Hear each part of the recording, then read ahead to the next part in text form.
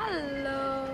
So, abot na may and nagpabilo may money.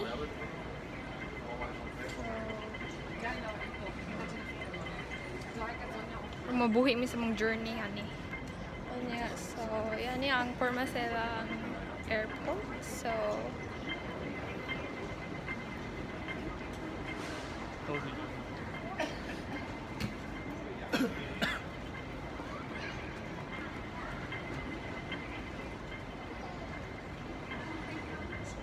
yeah. Okay, bye.